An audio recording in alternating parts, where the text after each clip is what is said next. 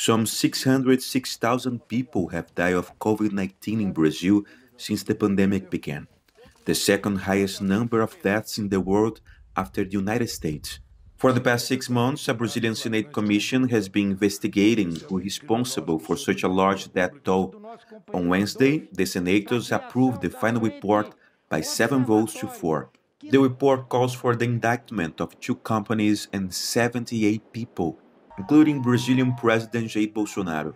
It accuses the government of allowing the virus to spread through the country and charges Bolsonaro with nine crimes, including crimes against humanity for failing to manage the pandemic.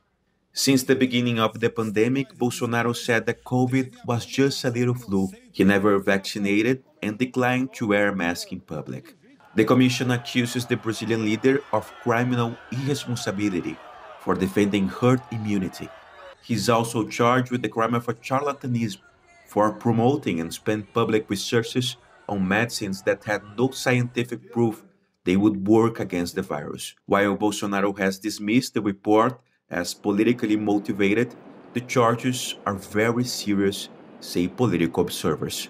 Se nós estivéssemos numa situação de normalidade, esse relatório seria... Juridically, it may take years to see whether the president will be found guilty or not.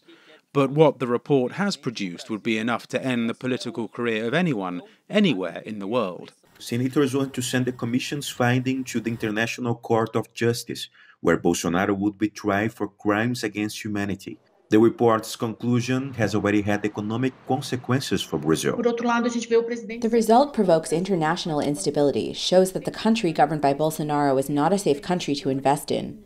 We see this impact including the devaluation of the currency against the dollar and how many foreign investors took money out of the country because of political insecurity.